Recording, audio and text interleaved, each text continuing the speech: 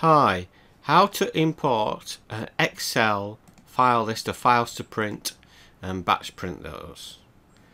Now here I've got Excel file of some files names here.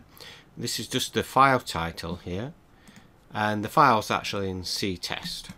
So to do this, first of all I need to save it out to a job list file.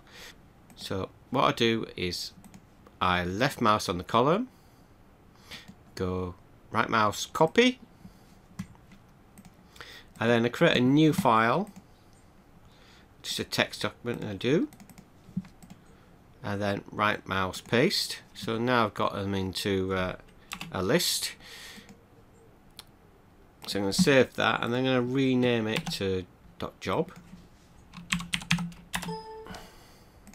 so now I've got that I can now import that. So if I drag and drop into Batch and Print Pro you can see that it's got a list but obviously it's not selected because it can't find the files.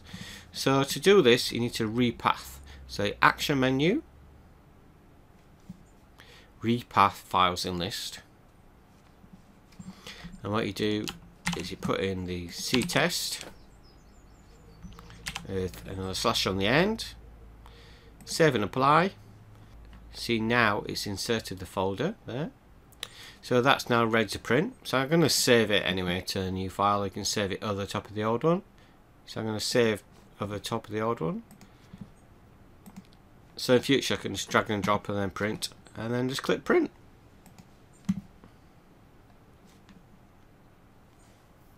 And it's that easy to import from an Excel file. Give it a try.